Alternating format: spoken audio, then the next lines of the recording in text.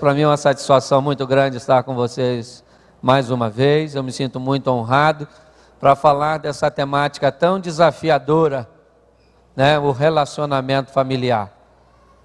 Eu confesso que essa temática foi uma temática que me surpreendeu. Né, o homem banana e a mulher abacaxi.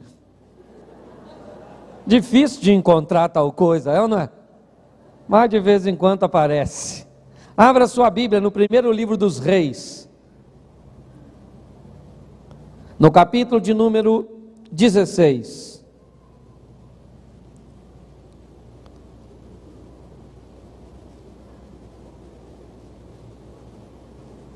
Verso de número 24 ou 29. Primeiro livro dos Reis, capítulo 16, verso 29. Amém? Nos diz assim a palavra do Senhor. Acabe, filho de Ori, começou a reinar em Israel no ano 38 de Asa, rei de Judá. E reinou Acabe, filho de Ori, sobre Israel em Samaria 22 anos. Fez Acabe, filho de Ori, o que era mal perante o Senhor, mais do que todos os que foram antes dele como se for a coisa de somemos andar ele nos caminhos de Jeroboão, filho de Nebate, tomou por si, ou por mulher, Jezabel, filha de Etbaal, rei dos Sidrônios, e foi e serviu a Baal e o adorou. Feche seus olhos agora. Senhor nosso Deus e Pai, queremos continuar ouvindo a tua voz. Fala conosco, Senhor. Usa-me como um canal de bênção, é o que eu te peço. Tira-nos do conforto da mesmice e nos coloque no confronto das mudanças. Que sejamos desafiados pelo poder da tua palavra nesta noite. É o que eu te peço, Senhor.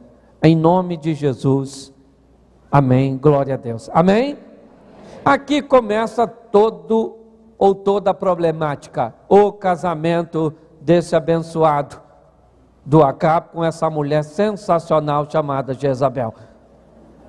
Um casamento equivocado, que não deveria ter acontecido, mas infelizmente aconteceu. Mas, já que nós vamos falar de um banana e um abacaxi, nós precisamos entender que nós estamos diante de duas pessoas mal resolvidas. Jezabel e Acabe são pessoas que têm problema com resolução pessoal. Esse é o grande desafio. Né? O grande desafio hoje é sermos pessoas bem resolvidas. Os grandes conflitos que enfrentamos são com isso. Tem gente que pensa que Adão estava pedindo uma mulher para Deus. Onde está escrito isso? Que Adão falou: Senhor, fico eu olhando o touro com a vaca. O leão com a leoa, o leitão com a leitoa. Eu aqui fico sozinho, assim. Puxa vida, estou muito infeliz. A infelicidade nem existia. O cara está no Éden. É ou não é? Adão era um cara resolvidão, feliz da vida. A ideia não veio de Adão. Não, Deus é que olhou e disse: Adão, tu é muito feliz.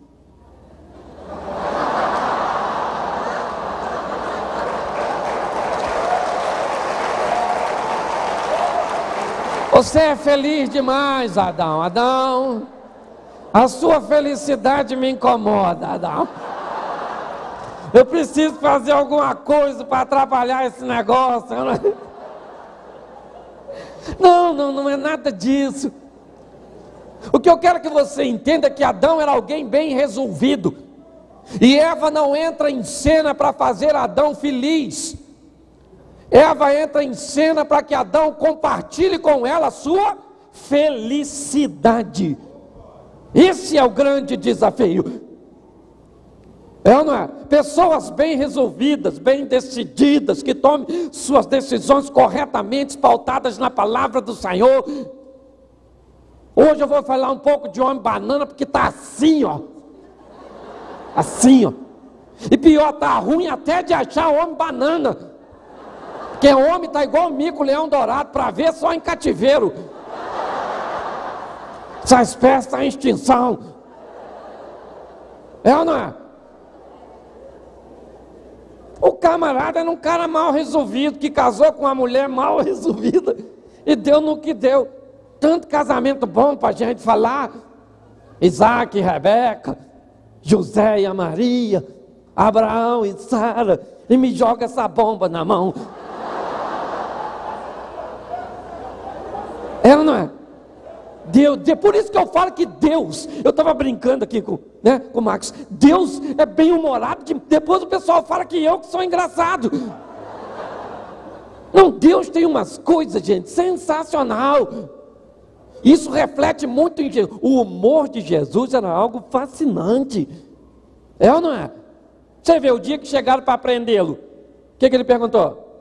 A quem vocês estão procurando? Ele está de brincadeira, é ou não é verdade? Não, ele está brincando. O clima era tenso. A confusão está instaurada. Os guardas chegam, ele. Ah, vocês estão procurando quem? Posso ajudar? Ou não é verdade? Ele só podia estar brincando. O dia que o cego desesperadamente gritam, filho de Davi, filho de Davi, filho de Davi. Quando chega, chega Jesus faz uma pergunta dificílima. O que queres que eu te faça? tá brincando, não tá? O cego ia falar, sabe o que eu estou querendo? Um cão guia.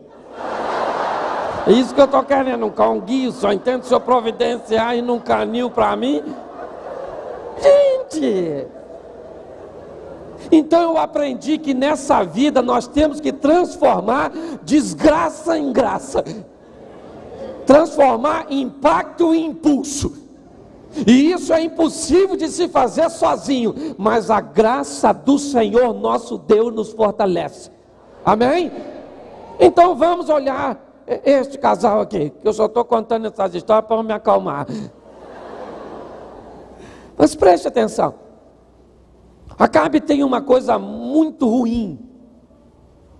Ele tem um pai ruim. Se você está com sua Bíblia aberta, preste atenção. Capítulo 16, versículo de número 25 diz assim: Fez Onri o que era mal perante o Senhor, fez pior do que todos os que foram antes. Veja o versículo 30 fez Acabe, filho de Onri, o que era mal perante o Senhor, mais do que todos os que foram antes dele. O cara foi pior que o pai dele. O pai já não prestava. É ou não é? E aqui nós vemos uma coisa muito importante que eu quero trabalhar com vocês, de um homem banana. Sabe o que é? Para mim, banana é aquele que se torna um produto do meio. Acabe cresceu vendo derrota, cresceu vendo humilhação, cresceu vendo desgraça, mas a decisão era dele, porque Deus sempre esteve presente. E não interessa o que gire ao seu redor, você tem o poder de decisão se você quer para a sua vida vitória ou derrota. Deus te dá essa liberdade. Ah, eu estou no meio dessa situação. Nossa, eu vivia. Eu cresci. Meu irmão, não interessa onde você viveu, nem você cresceu. Não interessa, meu irmão, quem foram os seus pais. Meu pai casou oito vezes. Eu sou filho do segundo casamento. Falei, não, não quero isso para mim, não. Cresci vendo aquilo, mudando de um lado para o outro. Papai, só casando. Só relacionamento. Eu não. Eu olhei e falei, não, não quero isso para mim, não. Vou casar com a mulher só, vou fazer 20 anos de O preço é alto. É, mas graças a Deus eu me mantenho firme. Quero ir com ela, uma só, até que a morte nos separe, de preferência com a morte dela, não é verdade? Mas pelo menos eu quero ir até o finalzinho, é não é? Isso é um grande desafio. Então preste atenção, não, você, hoje, hoje, o objetivo maligno, a estrutura, sabe o que é? É corromper a nossa casa é corromper os nossos valores. É ou não é? É colocar na nossa mente o que? Injustiça, adultério, corrupção. Isso é o que nós vemos ao nosso redor. É este o ambiente que nós circulamos. É por esse caminho que nós andamos no nosso cotidiano. Mas nós temos que manter um posicionamento, meu irmão. Eu não vou me corromper, mil cairão ao meu lado, dez mil à minha direita, mas eu não vou ser atingido, meu irmão. Você precisa tomar um posicionamento. É ou não é? Ter força, não. É, é a, a minha posição. Eu não negocio, eu não abro concessão. Não. Tudo bem que acabe, viu? E cresceu no meio de tudo aquilo. Mas isso não significa que ele tem que seguir os padrões. Isso não significa que ele tem que deixar com que a circunstância né, crie um uniforme para ele, uma estrutura, já que todo mundo faz, já que. Não! Homem, diga, homem, Davi disse uma coisa para Salomão antes de morrer: Meu filho, tema a Deus e seja homem. Homem. Homem. Hoje está faltando homem. Que tipo de homem? Homem carinhoso. É. São todos banana. A gente fala de carinho. É, eles acham que é frescura. Você já falou para sua mulher que você a ama hoje? Que é isso, irmão? Preciso falar, ela já sabe. Ela já sabe, mas quer ouvir, rapaz. Fala aí, eu te amo, você está linda, ainda que seja pela fé. Profetiza, é ou não é verdade? A fé é o fim, fundamento das coisas que não se vê. Mas pelo menos se espera, é ou não é verdade?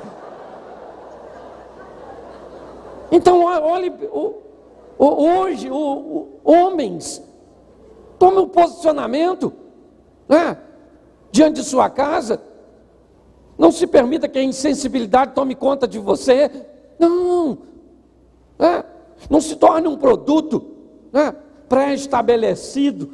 Não. Tome atitudes corretas, o que este homem não fez. Sabe, me parece que essa situação que ele viveu bloqueou algumas áreas emocionais de Acabe, porque ele fica sem reação. Um camarada meio lerdo, meio pacato. Você já vai ver aqui na frente, aqui à frente. Mas a primeira coisa que eu quero deixar para você, sabe o que é? É não se torne um produto meio, não, cara. É desafiador? É. É, não é fácil, não. Você ser um bom, um bom pai. É ou não é? Hoje a maioria dos homens não educam mais seus filhos, não tem mais autoridade. Hoje as pessoas falam em diálogo. Quero fazer uma pergunta para tu que é mais antigo. Teu pai dialogava contigo, filho? E, tu, e olha que tu é bem sucedido, graças a Deus. Os pais de antigamente tinham diálogo, não, meu irmão. É só. Olha o diálogo aqui, ó. No olhinho. E como é que o negócio não ficava feio se não respeitasse a olhada? É ou não é? Tu estava brincando na sala, chegava uma visita. O pai só o filho baixava a cabeça e rapava fora. É, não? Hoje em dia é banana. Você está conversando, dois adultos, as crianças estão tudo brincando pertinho. Agora mesmo você fala um negócio, ele diz, mentira. Ainda se mete na conversa, é não é verdade? E eu boto isso na conta do homem, meu irmão. Tem que ser tu campeão. É ou não é? Tem que ser você. E você vê hoje, hoje criam leis que a gente não pode dar uma palmada nos filhos da gente. E justamente na nossa hora de bater,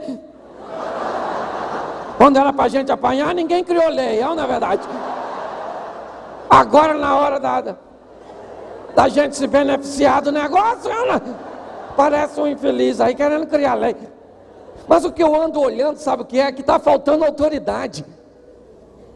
Os referenciais antigos, antigamente, o filho queria ser igual a quem? O pai, meu irmão. Por quê? Porque o pai era o cara. Hoje o cara é o Bob Esponja. O Lanterna Verde. Que coisa é essa, gente? Aí o filho está todo esquisito, serpenteador, falando fino. Você olha onde você aprendeu isso, menino? Seu pai é macho, mas eu não aprendi com o senhor, foi o Bob. Ele que é meu amigo, assiste todo dia de manhã. Está faltando posicionamento, gente. E de homem mesmo, de homem. Sabe? Referencial mesmo. Por isso que aparece Jezabel nessa conta. Ela só cria asa, por quê? Porque o bananão está lá. E o banana automaticamente gera uma mulher abacaxi. Tem que ter autoridade, campeão. E mostrar sua autoridade dentro da sua casa, de pai, de sacerdote, de indivíduo. Falou, está falado, sua palavra tem que ter peso. Vou te dar exemplo, quer ver? De autoridade. Tu vem aí na rua, na rua aí. Aí tem umas plaquinhas dizendo assim, 80 km por hora. Quanto tu passa com teu carrão, filho? Hein? 150 cavalos de força. Tu passa 80 na plaquinha? Lógico que não, rapaz. Tu passa 120, 130. Mas a plaquinha está falando, aqui é 80, gente. Me obedece. Só que a plaquinha não tem autoridade. Mas em algum lugarzinho da via colocaram um radar.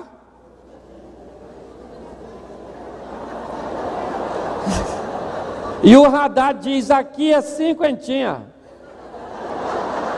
Passa aqui, você passa! Passa, que eu quero ver tu tira onda com a plaquinha. Comigo tu não tira onda não, meu irmão. Hoje nós não temos mais homens, é plaquinha. Não pode, gente. Sabe? Tome o seu lugar, camarada. Seu posicionamento de macho, de homem. É ou não é? Tome. Às vezes sua mulher precisa de um amante. No sentido literal da palavra, aquele que ama continuamente. E, e quem vai ser? É tu, campeão. Chega junto, atleta de alcova. Mandar ver no negócio. A mulher falando, tem uns homens fraquinhos que não me procuram. Se dia uma irmã falou comigo, meu marido não me procura. Eu falei, a senhora se perde? Aí ela falou, como é que se perdeu? Eu falei, vou ensinar a senhora, já, já. Mas às vezes a mulher precisa, não cama um homem, meu irmão, não é um banana, não. É um homem mesmo que vai pegar a mulher.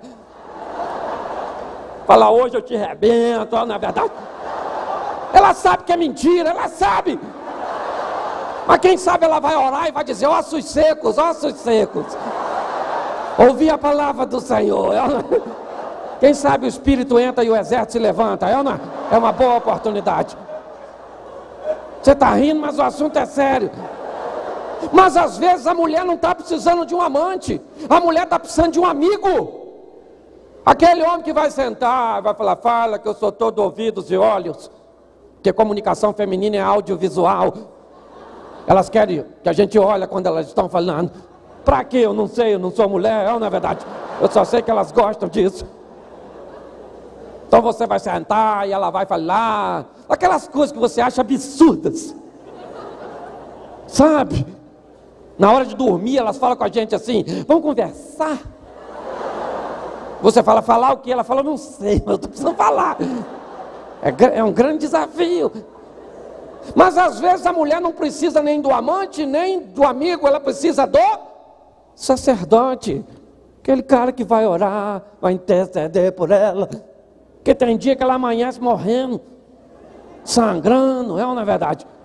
O cabelo todo esvoaçado, a pele trocando, uma dor de cabeça no corpo todo, é não é? Aquela dificuldade. E o maridão tem que estar lá, Senhor, casei com Fênix. Sou ressurge das cinzas, Jesus. É só passar uma semana que ela está legal de novo, graças a Deus por isso.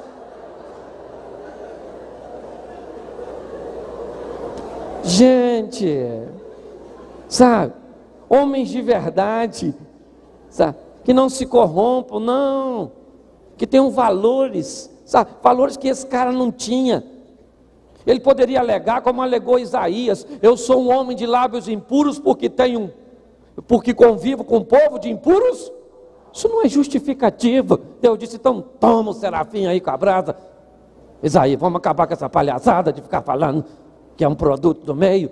Não, tome seu lugar, cara. Aprenda os valores femininos, não negligencie.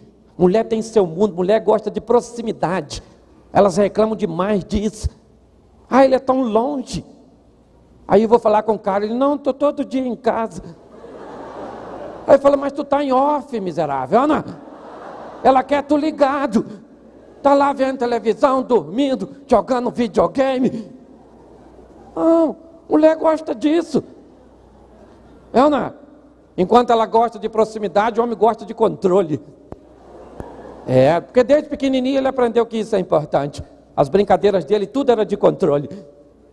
É, boleba de gude, controle. A minha boleba era para quê? Para matar a sua. E no final do jogo eu saía com a minha latinha cheinha, olhando para você com uma boleba só. Eu estou no controle. A minha pipa, o meu papagaio era para quê? Para cortar o seu. No final da noite, tardezinha escurecendo, quem é que está no alto? A minha. Está dizendo para todo mundo, eu estou no controle. O meu peão era para rachar o seu porque eu estou no controle. E às vezes nós não respeitamos isso, sabe? Não entendemos essas coisas. Aí a, torneira, olha só como é que isso acontece para eu mudar de ponto aqui. A, a torneira está vazando, tu já avisou ele três vezes. Ele não fez nada. Aí ele chega em casa e você diz assim: ó, a torneira está vazando, meu filho. Já falei contigo três vezes seu molenga. Será que não tem homem nessa casa, não? Eu é que vou ter que consertar essa torneira? O que, que o marido entendeu? Ela está achando que ela está no controle. Ah, ela está pensando que ela está no controle. Coitadinha. Agora que eu não vou consertar mesmo, meu irmão. Eu até ia consertar, mas agora eu não conserto. Só de raiva eu não conserto. Isso é uma mulher abacaxi. É. Porque o certo é fazer assim, ó. Amor, a torneira está vazando, filho. Já te falei três vezes. Está sem tempo, né? Mas quem é o homão aqui de casa? O meu homem, meu não dela, entendeu? É só uma colocação. Quem é o meu homem, ou não é? Só você, quem é que pode resolver isso, filha? É só você. Ou você resolve ou paga alguém para consertar. Sabe o que ele vai falar? Pode pagar. Pode mandar consertar que eu pago. Eu, eu, eu aqui pago, porque eu estou no controle. Então hoje as pessoas negligenciam, camarada. Você casou com uma mulher, tem que saber como funciona. Esse dia minha esposa saiu comigo, falou, vamos comprar um, um, um sutiã. Eu falei, vamos. Chegamos lá, quanto é o sutiã? 120. Falei, não, peraí, peraí, peraí, peraí. Quanto é o sutiã? 120. Falei, isso é preço de prótese. Aí ela me disse algo que eu não sabia. Ela falou: Meu filho, não é um sutiã, é.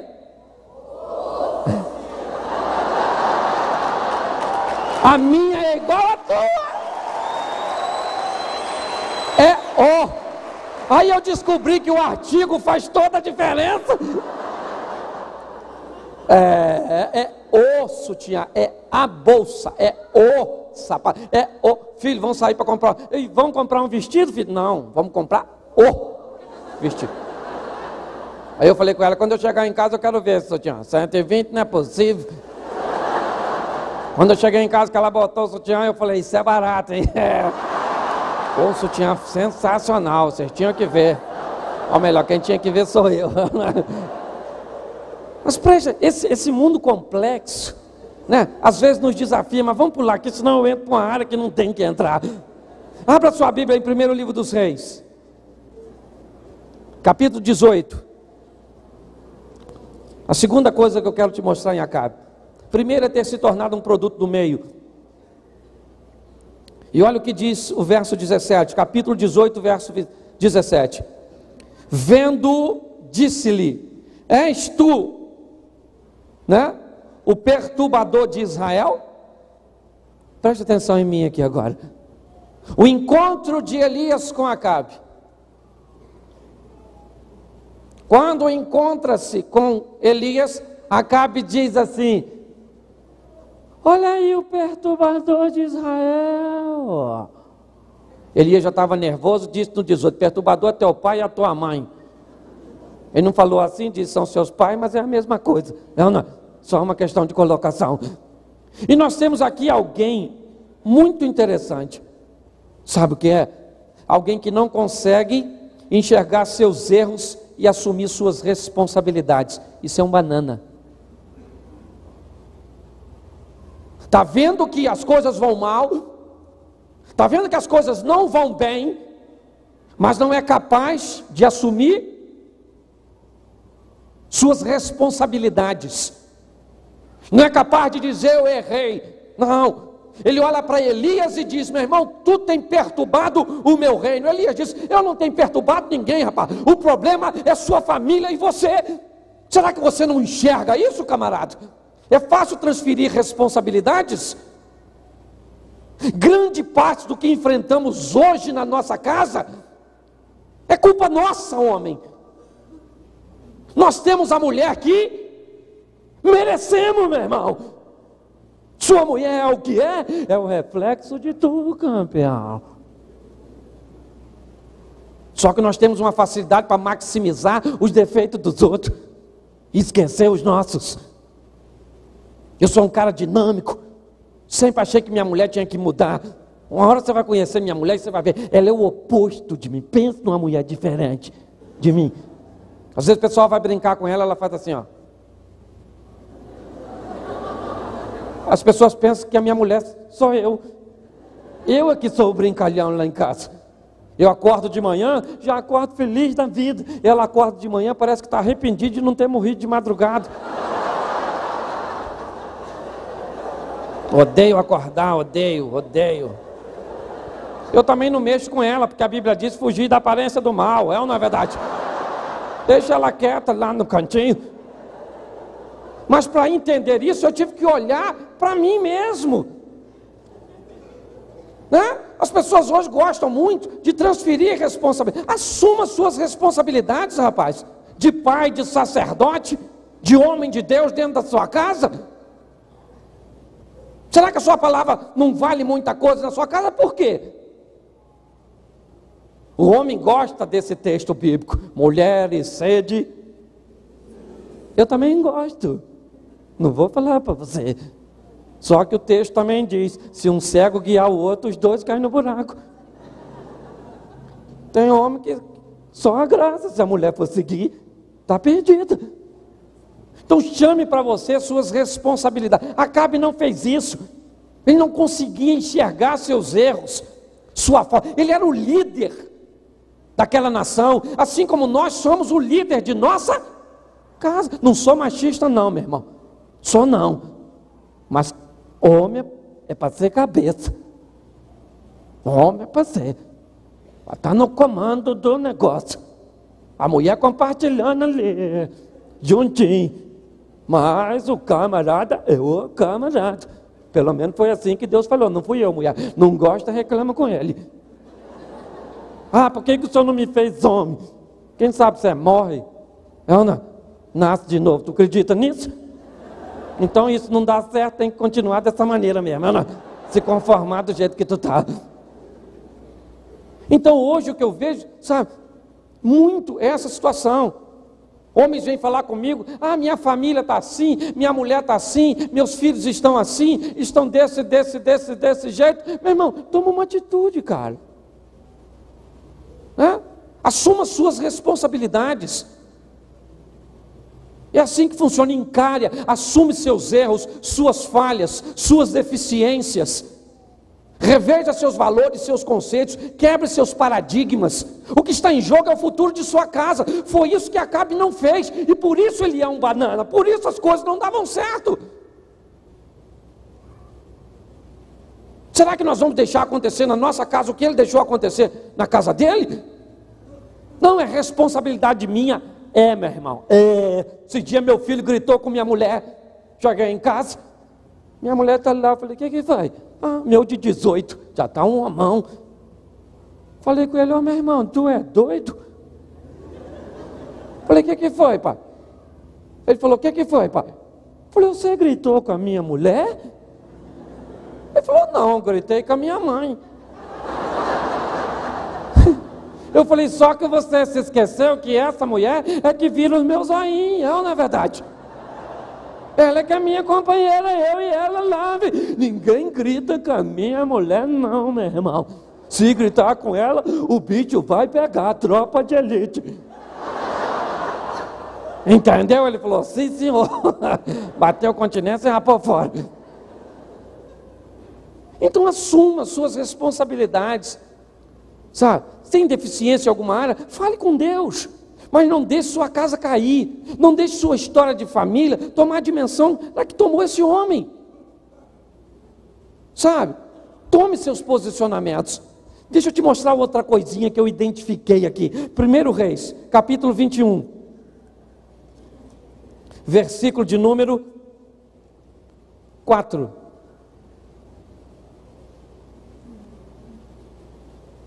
Amém?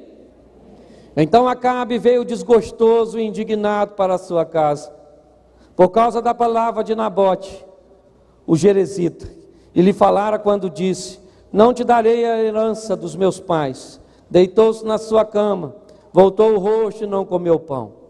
Porém, vindo Jezabel, sua mulher, ter com ele, disse: Que é isso que tens assim desgostoso o teu espírito e não comes pão? Respondeu ele: porque falei a Nabote, os heresita, e ele disse, e disse-lhe: Dá-me a tua vinha por dinheiro, e o que te apraz, e dar-te ou dar-te-ei outra em teu lugar. Porém ele disse: Não te darei a minha. Pô, esse cara é um palerma. Ele é o rei. O cara tinha uma vinha encostada numa de suas propriedades. Ele vai a Nabote e diz: Nabote, eu quero a sua vinha, filho. Te dou outra melhor. Ou compro, prago o preço justo. Nabote disse: Eu não vou te dar, meu irmão, a herança de minha família. Até porque ele não merecia. Se ele fosse um rei bom. Se o caso é com Davi aqui, Nabote diz: Leva a vinha de graça, meu irmão. Mas para tu, eu não vendo de jeito nenhum. Essa que é a realidade. Por isso que ele não vendeu e não entregou. Mas eu aprendo uma coisa aqui que só os homens de verdade sabem: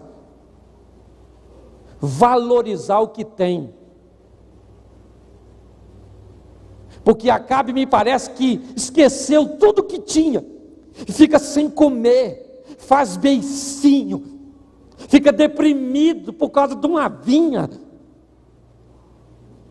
Um homem de verdade sabe o valor do que tem e também sabe que não pode ter tudo o que quer, meu irmão.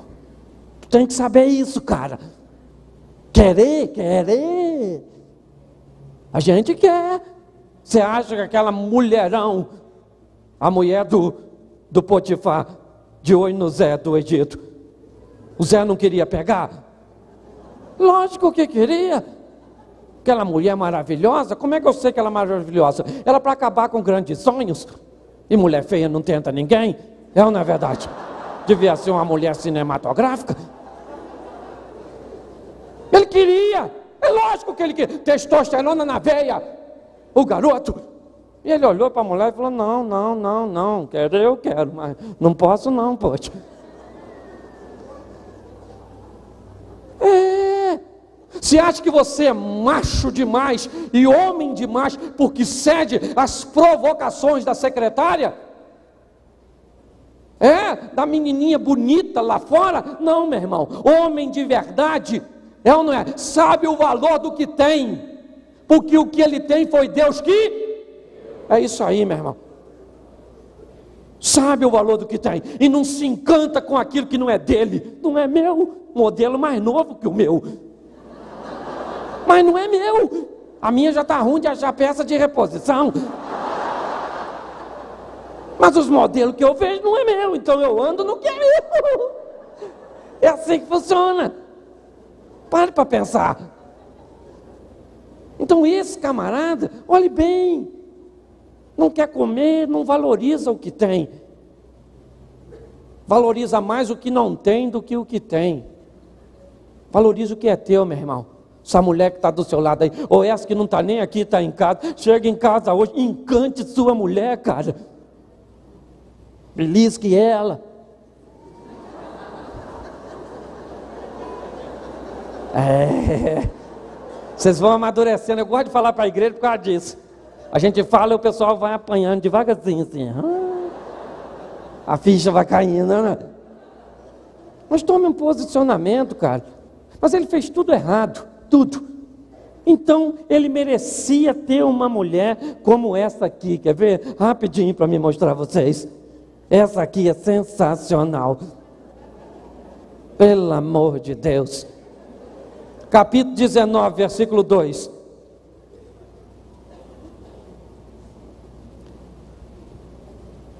Então Jezabel mandou um mensageiro a Elias dizer-lhe: Faça-me os deuses como lhe aprover, se amanhã a estas horas eu não fizer a tua vida como fizeste a cada um. Preste atenção. olha aqui. Acabe chega em casa e diz: Jezabel, Elias, matou os profetas do teu pai. Ela era filha de Etbaal. Preste atenção. Por si só, eu nem conheço a tal da Jezabel, mas ela já era um abacaxi dos grandes, porque filha de quem era, não era para Acabe ter casado com ela, gente. Uma mulher que não teme a Deus, uma mulher que não tem Deus em seus princípios, em suas atitudes, impulsiva como normalmente né? Grande parte delas são, é problema sério, filho. É ou não é? Mas veja a atitude dela. Quando Acabe diz, ele, a primeira coisa que ela diz, eu não sei se ele narrou tudo. Oh, Jezabel, ele chegou, restaurou o altar, ele pediu fogo do céu. Os profetas clamaram, o fogo não caiu. Ele nem falou fogo, só falou fogo não terminou nem a palavra, e o fogo já caiu. Jezabel queimou tudinho. Jezabel falou: Vou matar esse camarada, eu vou me vingar. Olhe bem, eu sei que muitas vezes nós erramos. Eu não sou mulher, mas conviver com homem deve ser um negócio desafiador. Porque homem é superficial, mulher é profundo. Eu costumo dizer que mulher é um submarino, pode submergir, mas na maioria do tempo está lá no fundo. E nós somos navio. Só estamos na superfície. Se fundar, meu filho, já era. Estamos acabados, destruídos. E esse relacionamento deve ser muito desafiador para as mulheres. É verdade. Mas eu quero dizer uma coisa para você, irmã. E uma coisa é que serve até para nós, homens. Aprenda a perdoar. O que eu vejo de mulheres machucadas, pessimistas, rancorosas, sabe? Com suas atitudes sempre moldadas e forjadas nos acontecimentos do passado, no seu sofrimento, que aquele com seus pais, com o próprio marido, com filhos. Olha o que essa mulher está vivenciando. Ela diz: Eu vou me vingar disso, meu irmão. Isso não vai ficar assim. Uma mulher iracunda, irosa. Olha o posicionamento dela. A Bíblia diz que a mulher sábia edifica a sua com sabedoria, meu irmão. Com conhecimento e entendimento de Deus. Não com rancor, com ira, com mágoa, com ressentimento. Não. Não permita que as, essas coisas azedem o seu coração. Jezabel tem esse posicionamento. Tem sabe? Isso no seu coração. Ela aprendeu assim desde sua infância, provavelmente. Ela está expondo simplesmente, simplesmente o retrato que ela também conviveu. É isso que ela está vivenciando. E ela é, é extremamente danosa para a administração de Acabe. Porque Deus está mostrando a Acabe Filho, olha o que eu estou fazendo por você. Ele ainda vai orar, Deus vai ter misericórdia de Acabe. Deus está tentando mostrar, mas olha a companhia desta mulher. Olha o que esta mulher fazia com ele. Preste atenção, irmã. Deus colocou você ao lado desse homem, não para você né, persuadi-lo a fazer o mal, não para você incitá-lo a fazer o mal, mas que você muitas vezes, né, com seu sentimento, venha abrandar o coração deste homem, venha estar com ele, né, como parceira, para que ele seja bem sucedido em suas tarefas. Ele já não vinha bem, é verdade. Ela poderia ajudá-lo e muito, ser uma cooperadora para o ministério dele, mas não, ela o persuadia, como diz o texto, a errar. Olha o posicionamento dessa mulher, com vingança, guardando coisas no seu coração. Fica muito difícil, irmã, conviver com isso. É muito desastroso vivemos momentos, né, com pessoas como Jezabel, sempre com poder de reação, sempre um poder de reação incorreto. Por quê? Porque ela não tem Deus.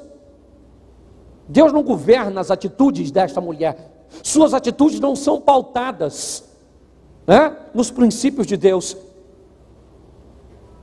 Por isso é que ela é assim. Por isso é que ela faz essas coisas. Hoje nós homens precisamos de mulheres abençoadas, abençoadoras. Sabe? Precisamos de cúmplices.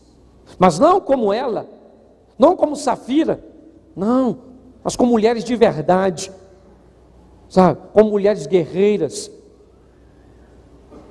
Esse é o grande desafio. E ela também tem uma coisa, sabe? Que me.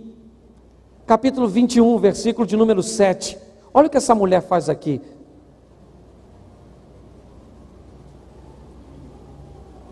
Então Jezabel, sua mulher, lhe disse: Governas tu com efeito sobre Israel? Levanta-te e come, alegra-te o teu coração, eu te darei a vinha de Nabote. Preste atenção no que essa mulher está dizendo. Primeiro ela chamou o marido de bobão. Sabe? Ela diz: meu irmão, tu não é nada, camarada. Já que tu não resolve, resolvo eu. Sabe? Eu vou te dar essa vinha. Vou te dar. Pegou uma carta, escreveu, assinou com o anel dele selou e mandou e disse: ó, pega duas testemunhas falsas, testemunha como na bote, mata ele a pedrada, porque o meu marido está aqui, de beicinho, se molenga. Olhe bem, uma mulher que não conhece seus limites, sabe? Eu sei que o mundo moderno hoje, e eu acho fantástico, gente, esse mundo moderno, a mulher cada dia mais ocupando seu espaço. Ah, nós temos aí, é ou não é? Governando o nosso país, grandes empresários, mulheres de sucesso, mega secretárias. Não tem nada contra isso, não, gente. Mas em casa tu é esposa, velho. Tem mulher querendo mandar no homem. O meu dinheiro, primeiro, dinheiro não é seu. Mentira. Tu casou, tu saiu do singular e foi para o plural. Antigamente o dinheiro era seu, hoje ele é nosso. É ou não é verdade? Detesto isso. O meu, que é meu dinheiro, meu. Quando você estava solteiro, aí era meu, comprei, vou. Agora que tu casou, não meu, nosso, vou, não, posso ir? É diferente de vamos, é, é? mais complexo. É, é assim que funciona. Então não tem nada contra o mundo. Mas o que tem de mulher hoje, meu irmão, uns abacaxi cascudo. Mas mulher que dá vontade da gente orar. Falar, Senhor, promove. Dá uma promoção para ela, porque eu estou doido para ficar viúvo. Porque viúva, viúva é quem morre. Tu entrou nesse rolo, meu irmão, agora é até que a morte o separe. Esse dia um pastor veio falar comigo assim, é, eu quero largar minha mulher. Eu falei, não, rapaz, você é doido? Não, eu vou largar. Falei, que é isso, pastor? Não, tô... E a mulher dele chorando, perto. Falei, que é isso, pastor? Não faz isso não. Não, estou decidido. Eu falei, o senhor tem certeza do que está dizendo? Ele disse, tenho sim, senhor. Falei, então vem aqui que eu vou orar para o senhor, a oração do divórcio. Ele disse, como é que é isso? Eu falei, fui eu mesmo que inventei. Ele falou, como é que é? Eu falei, você já vai ver, fecha os seus olhos. Segurei aqui nele assim, ó, apertei, fechei meus olhos, falei, Senhor, o senhor estava lá o dia, o dia que ele casou, não estava? Então o senhor era testemunha, eu não. O senhor lembra que ele falou sim, quando perguntaram para ele, até que a morte o separe? Eu sei que ele falou sim, que ele casou. E perguntaram a ele até que a morte o separe. E ele disse sim. Então, Senhor, ele quer separar. Darrei ele. Aí eu segurei com força. Falei, mata ele, pai, mata ele agora. Dá um AVC nele, dá um AVC. Uma parada cardíaca. E ele, ele, presta atenção.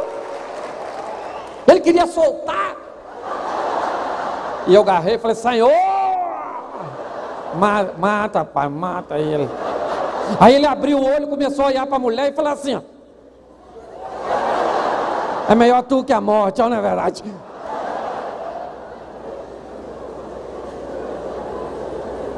Você está rindo, mas o assunto é sério.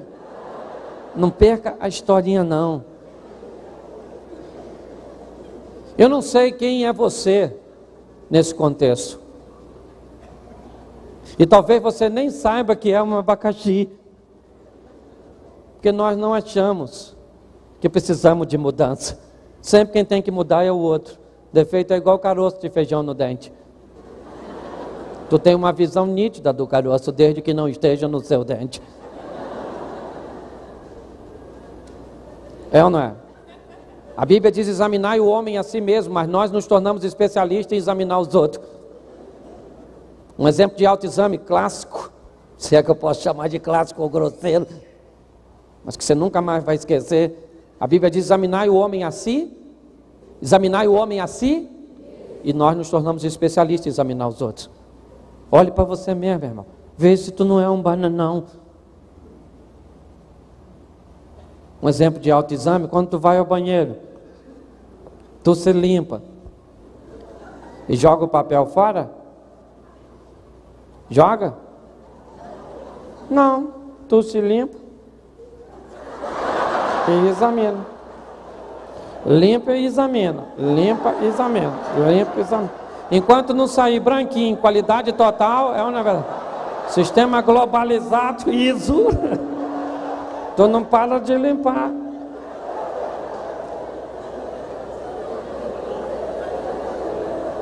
Então não estou aqui para acusar os bananas nem os abacaxi. Eu só estou dizendo que banana com abacaxi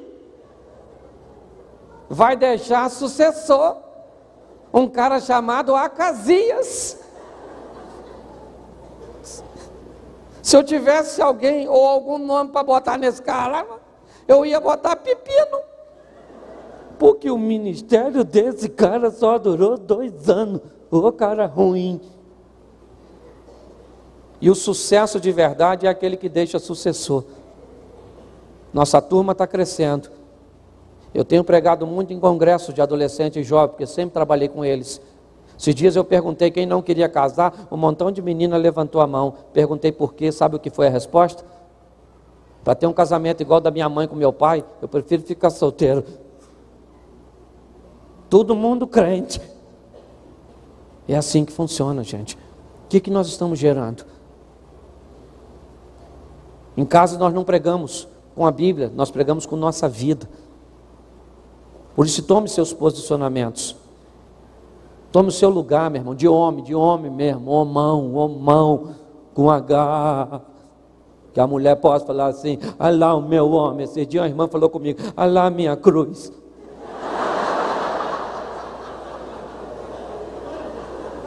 Como é que convive? E ainda me disse assim, a Bíblia diz que cada um leva a sua, né irmão? Eu vou levar a minha. Olha só. Então não sei, meu irmão, qual é a sua história. Eu não sei se ela precisa de mudanças. Eu sei que o objetivo da igreja aqui é fazer você crescer como pessoa, melhorar. Tudo bem que eu sou um cara meio engraçado. Você deve estar pensando, esse cara é doido. Esse dia um cara me chamou de palhaço na saída do culto. Pô, fiquei chateado pra caramba. Cheguei em casa, fui assistir um DVD meu, eu falei, esse cara tem razão. A hora que eu encontrá-lo, vou pedir perdão. É uma... Então, é, mas a vida é assim. A vida é assim. Aprenda a viver com Deus. Porque Ele pode te fazer feliz. Não coloque a responsabilidade de te fazer feliz nesse banana, nem nesse abacaxi. Deus te faz feliz. Seja bem resolvido. Para me terminar, esses dias eu falei com a minha mulher assim, só perguntei, o negócio estava meio tumultuado, eu perguntei assim, você vai almoçar? Ela disse, não, não preciso de comida. Eu olhei, falei, Senhor, onde foi que eu errei? Só perguntei se ela queria almoçar. Falei alguma coisa de errado? E Deus tocou no meu coração e disse: Falaste na hora errada, filho. Está vendo que a mulher está nervosa? Eu já ensinei que distância se deve ficar de um abismo. Quanto mais longe, melhor, é ou não é? Passei pelo meu filho, falei, ah, pergunta sua mãe se ela quer almoçar, se quiser almoça, se não quiser não almoça, que se dane, é ou não é? 20 minutos depois ela me olhou e disse: Amor, já almoçou? Eu falei: É lógico, querida, vem cá, linda. Minha vontade é esganar ela. Seja bem resolvido, cara. Segure na mão da sua adversária aí agora, você que está com a sua mulher. E mulher, você que está sem. Quem é a mulher aqui que está sem marido? Aqui. Marido está em casa. Levante a mão. Isso. Chegar em casa hoje, dever de casa para tu pegue ele distraído, garre ele e beije na boca dele com força. Só solte quando ele fizer assim, ó. E se ele perguntar o que, que aconteceu, você diz: Foi lá na igreja que mandou beijar. Domingo seu marido está aqui. Eu quero aceitar esse Jesus que manda a mulher beijar desse jeito. Olha E sua casa é uma benção. Haja para que isso se torne uma realidade. Vale um amém? Feche seus olhos agora. Pode fechar que ninguém vai pegar nada seu não. Segure na mão da sua adversária aí. Isso. Você deve estar pensando, esse cara é doido. Nessa igreja tem gente mais doida que eu. O cara que deixou eu vir aqui. Olha lá. E pior, ele quer que eu volte, gente. Fecha aí seus olhos. Fecha aí, poxa. Senhor, eu quero te louvar pela oportunidade de me alegrar com os teus servos, me alegrar com a tua palavra, com os teus ensinamentos, com os teus conceitos. Ensina-nos, Senhor, como homem, a nos comportarmos como tal, a não nos tornarmos um produto do meio, ó oh Deus, a chamarmos para nós nossas responsabilidades, em valorizarmos aquilo que temos e não aquilo que não temos. Nos ensina a amadurecer, Senhor. Que nossas esposas tenham orgulho de dizer: aquele é meu marido, é meu homem, é o chefe da minha casa. Que nós sejamos motivos de orgulho para elas, Senhor. Ensina essas mulheres, ó Deus, a ocupar os seus lugares, Senhor, de honra ao nosso lado, com atitudes corretas, ó Deus, ali para nos auxiliar, para nos impulsionar, como uma mola, ó Deus, auxiliada pelo Teu Espírito, a nos levar adiante, a nos puxar para cima, ó Deus, mulheres sábias, competentes, realizadas, bem resolvidas, financeiramente independente, não tem problema nenhum nisso, Senhor. As companheiras, amigas, Senhor, mães, esposas, amantes, sacerdotisas, para que nossa casa, Senhor, gere filhos bem resolvidos, filhos que tenham prazer e que sonhem com casamento, e sonhem em ter um casamento como o nosso, como a nossa casa. Que isso seja uma realidade, ó Deus, nas nossas famílias, no nosso lar. Restaura. Em nome de Jesus, Senhor. Amém.